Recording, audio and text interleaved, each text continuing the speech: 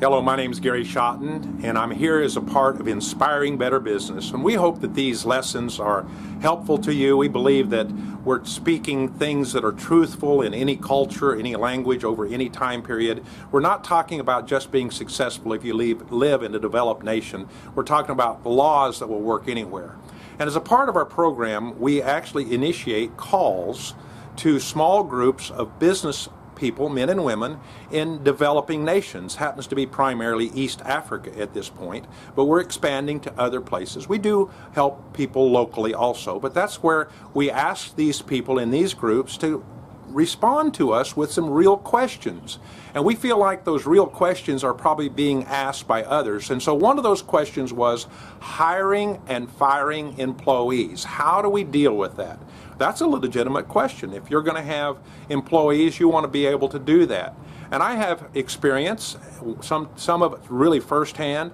My first business that I really owned started with just myself and a helper, and then over time we added trucks. It was a trucking business, it was moving furniture, and we kept track of not only the person's name, like Bob Smith and Bill Jones, but we also was easier if we named them employee number one, two, three, and up there. So over a period of 17 years, we were up to over 800 different numbers. We didn't have 800 people at once. We had between uh, small but up to many times 75 people at once. But that's how many people we hired, and they aren't with us anymore. My current customer uh, co company that I own, we maintain about uh, 60 to 65 employees, and there's some come and go. We have some that are very long-term employees, and uh, one that's 30 years, several that are 20 years, and several that are many that are 10 years with us. So we're trying to improve on this as well. How do we hire the right people, though? We're hiring now, and so one of the obvious is number one, the better you hire, the less you have to fire.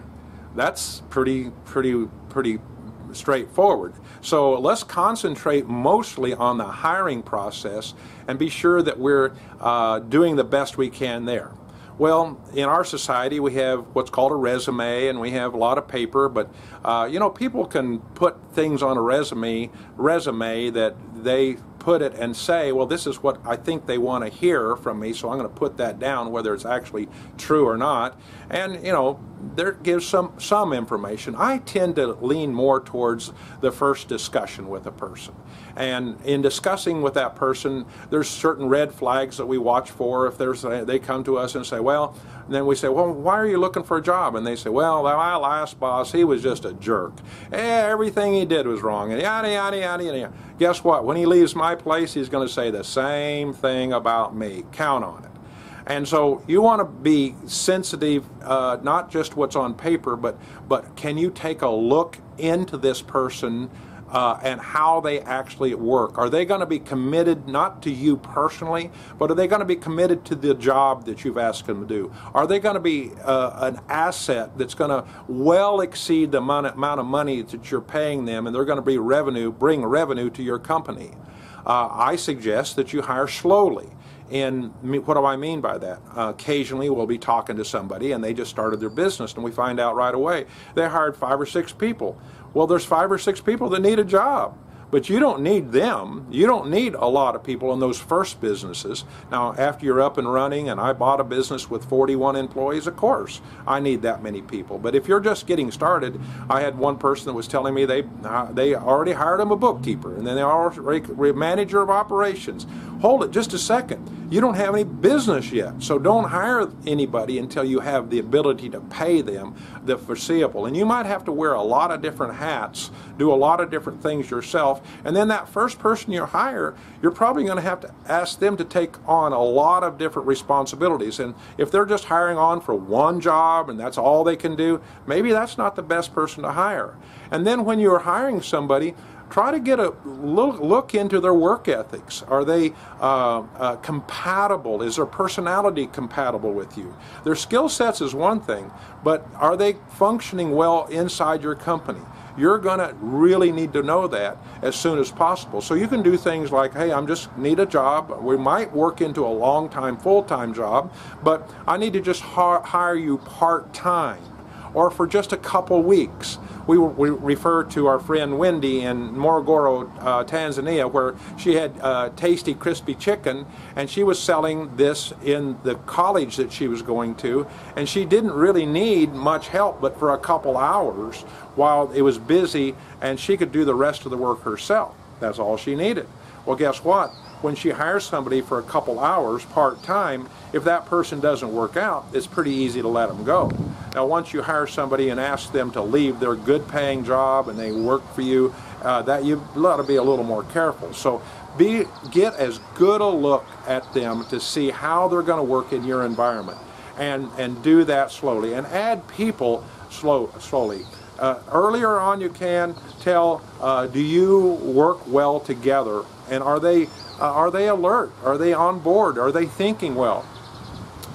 Uh, sometimes you want to hire and think of hiring the person with the most experience, okay? We happen to have a machine shop, and so, of course, if we can hire somebody that fits our personality that also has uh, skill sets as a machinist, we're interested. But we can't always find those people, so in a way, we're looking for that personality first. And when we see somebody's teachable and they're alert then we're more inclined to hire them and train them from day one. You get the advantage of training them like the way you want it done. Now we look real quick. Are they got a notepad? We suggest bringing a notepad. Are they asking the same question over and over, which you covered last yesterday? Are they asking you the same question again? They're not. You're not a good fit with you. Uh, and then many times you have a chance to train them. Uh, ideally, you have the ability to give a, a, a, clear description of what you want them to do and a clear description of, of ability to judge that. Uh, in our case, you need to do these parts within a particular time period. Well, you can kind of make a judgment there. And so if you can tell that, great. But early on, a lot of times, you're not able to do that because they're doing so many things. I would say be very careful about hiring friends and family that's not always a good fit. You don't hire somebody because they need a job. You got to hire somebody because they're going to do the job that you need them to do.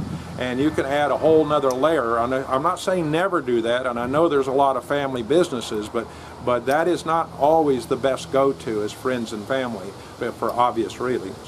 And so be careful, hire the best you can, uh, be careful. And now let's talk about firing somebody. Well, Nobody wants to fire somebody. That's no one's likes to get fired. But you know, there's overriding criteria is being fair but firm.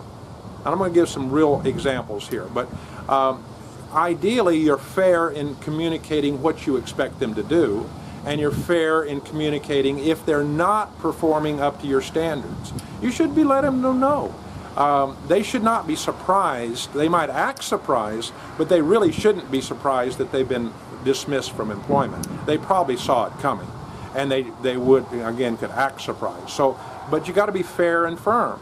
Um, there's going to be uh, uh, cases where uh, there just doesn't fit. And in my opinion, you don't need to have a long explanation. It's not the time to uh, tell them, well, back on this you did this, and uh, uh, like a training time. It's probably just as simple to say, you know, I don't think it's working here. Uh, uh, it's just not working out. Uh, in the same way, I don't want them to tell me all my mistakes. That's not a time for me to tell them, hey, there's a whole long list, laundry, laundry, laundry list of things you didn't like about them. Just let them go. It's gone. Get on with life. Now there's a couple cases I want to talk about in this process. It seems inevitably that one of your most important persons, the most key person, now has a discipline problem. Maybe they're not reporting to work on time, or maybe they didn't show up for work. And you really kind of need this person. It's really pretty important. So now you're creating what I would call a double standard. If Joe's really important to me, I'm going to be more lenient with them than I'm with somebody else that's not as important. Be careful with that.